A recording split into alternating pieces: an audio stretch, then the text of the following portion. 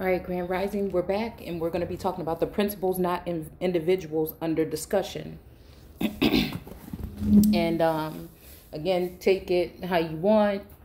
Um, take the babies out the bathwater, whatever you want to do. Again, this is not your mama's Bible study, okay? Um, because we know that his story lies.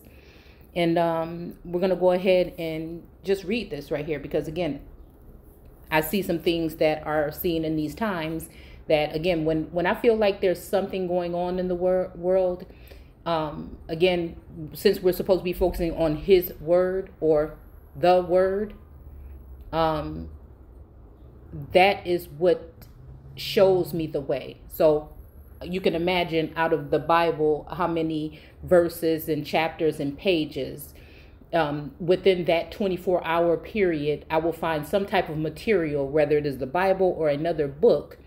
Um, when I'm asking source, what are you really trying to tell me? And I can't put it all together. Something will come up that will start to show the way. So again, when people come come with gossip and they come with all these other ways and the way that man thinks and what he thinks that really doesn't matter to me, um, I go into the Word to go ahead and uh, speak the truth okay, and bring balance to the situation.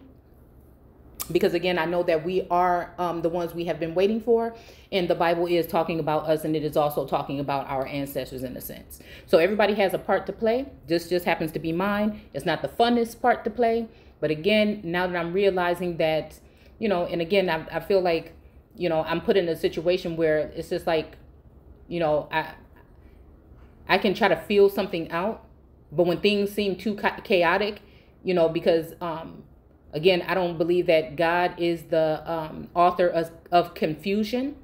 So if again, whatever you do is confusing, or if I'm just, you know, then again, I will have to walk away from that sense, uh, in a sense. And again, a lot of things that I feel like have happened have been chaotic, where everything has been intertwined. So I really can't detect, and I really can't. Um, there's a place that I can go in my head, right? And that's where I'm feeling like we're communing with ancestors, guides, um, uh, angels, and other energies. There's a place I go in my soul. That place is preserved for source. That's it. That's all. You know what? Sometimes I think it's not even preserved for my own self, unless I'm looking at myself as being a counterpart um, or a consort of source or the Elohim. So we're going to go ahead and read this and see what we can see here. Okay. And it says, All Christian people credit the book of Revelations to our Lord, as St. John does in Revelations 1 and 1. Therefore, we are not responsible for the symbolism used in this book. There are so many ways in which one might be misunderstood, even by good Christian people. And again, I'm not a Christian. I don't call myself a religion at all. I'm someone that studies the word and has a connection with source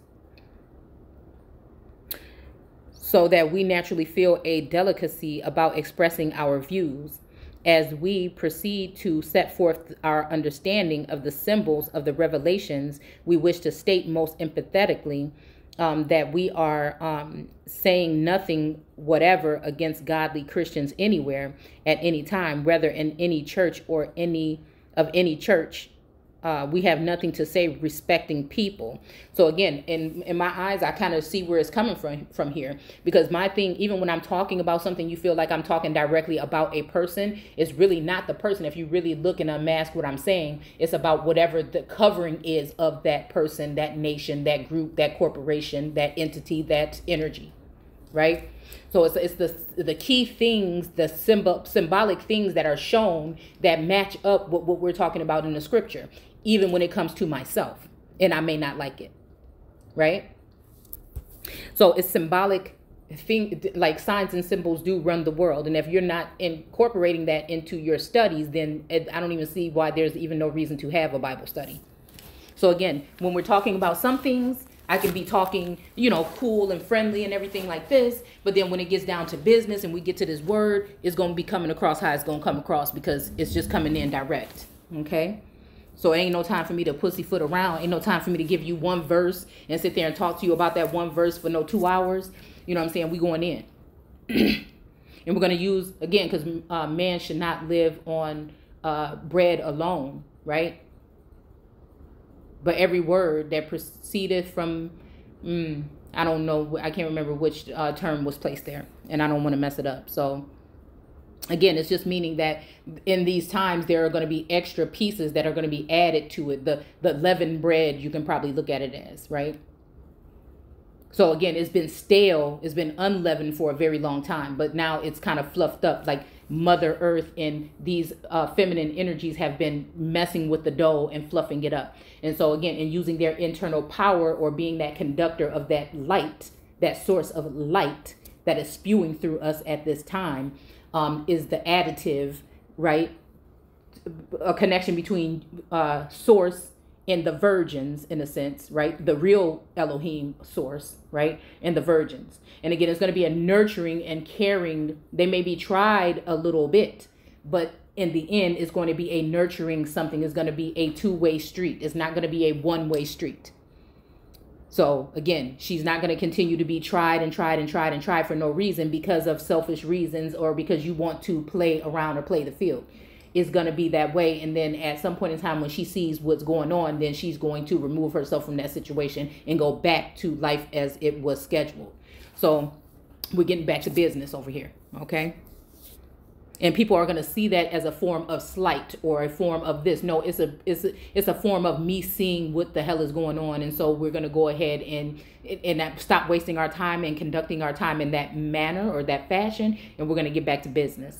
Because again I feel like even now more than ever, I've been prepared and went through the furnace, and now we're at the point where, um, you know, um, it's it's getting down to business, right?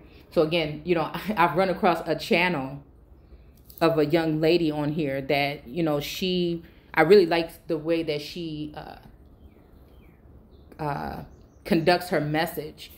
Um, you know, it, it, it's really almost like it, it, it really uh, speaks to me in a sense, you know.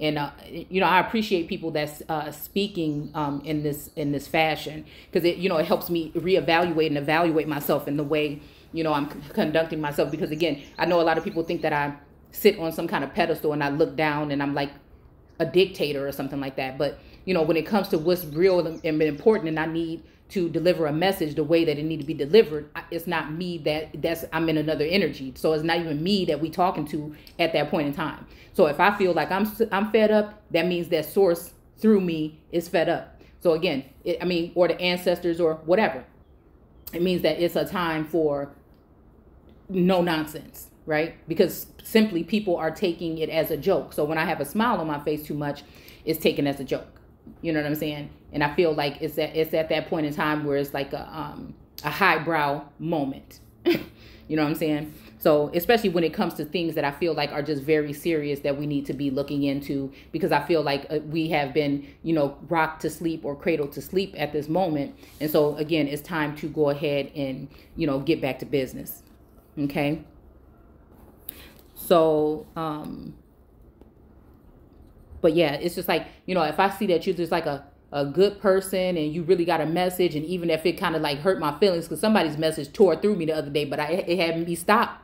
It stopped, and, and, I, and I was new to her channel and her platform, and she's really pretty harsh. You know, it's not just all that sweet talk. You know, she give it to you know folks how it is. And so again, I like that type. I like I'm, someone that it is drawn to constructive criticism because it will put me in a mode where I'm like, hold on, what is you doing? Is that what you doing? Do you do that? Oh damn, you do. You know.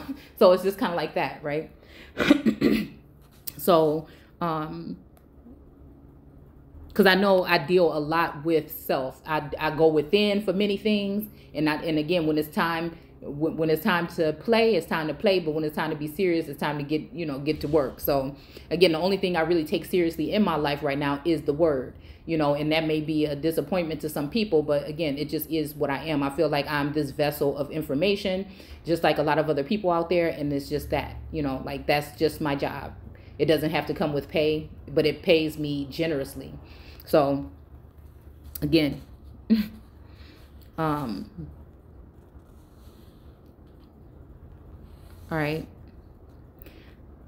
So, so many ways in which we might be misunderstood, even by good Christian people, that we are naturally feel a delicacy about expressing our views as we proceed to set forth our understanding of the symbols of revelation we wish to